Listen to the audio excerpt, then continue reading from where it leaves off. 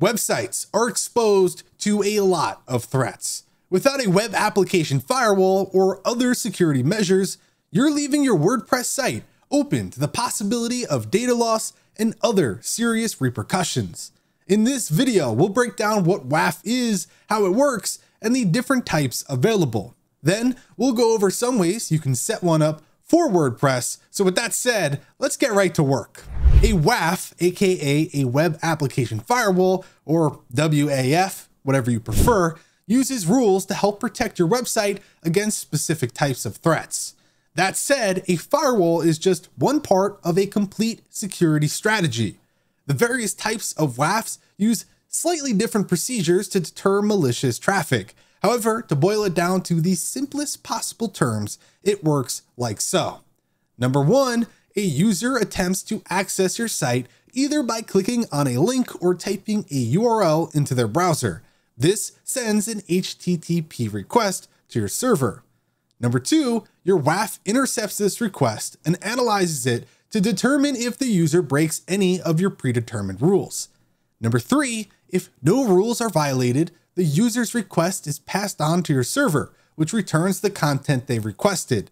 In the event that their IP address is blacklisted or their activity is otherwise suspicious, your WAF will block them. The primary advantage of a WAF is the ability to deploy new rules quickly. In most cases, modern firewalls use a combination of whitelisting and blacklisting, which is referred to as a hybrid model. Beyond the types of rules they use, WAFs also work at three different levels. Network level, network WAFs function at a local level and they usually involve custom hardware solutions, so they tend to be very expensive. However, they cause less of a lag for users. Host level. This type of WAF usually comes as a module or plugin installed on your server. It's a much cheaper approach than network level solutions, but takes up some of your server's resources. Cloud level. Cloud WAFs tend to work using a software as a service model. You usually pay for a subscription and in turn get access to a solution you can quickly deploy through your DNS, aka domain name system.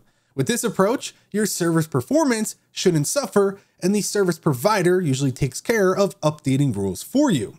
There are a lot of ways you can implement a WAF for your website without having to set up a hardware solution. Here are three methods you may want to consider. Number one, install and activate a WordPress security plugin. WordPress security plugins that offer WAF functionality fall under the category of host level solutions. In other words, they're software you set up on your server to intercept and filter your site's traffic. The downside to this approach is that it requires use of your server resources. We've explored the performance impact of plugins in the past, so we can say with certainty that this approach will slow your website. That said, this method is also relatively affordable and very easy to set up if you're lacking technical experience. Both WordFence Security and All-in-One WP Security and Firewall include beginner-friendly WAF solutions. WordFence, for example, enables you to blacklist connections using a highly customizable set of rules. All-in-One WP Security, on the other hand, includes both whitelisting and blacklisting functionality, so you can employ a hybrid approach. Number two, sign up for a third-party WAF solution. Third-party WAF services often integrate with your website through its DNS configuration, meaning they tend to fall under the category of a cloud-level solution. Cloudflare is an excellent example of this. If you use a Cloudflare premium plan, you not only gain access to a content delivery network, but also a built-in WAF.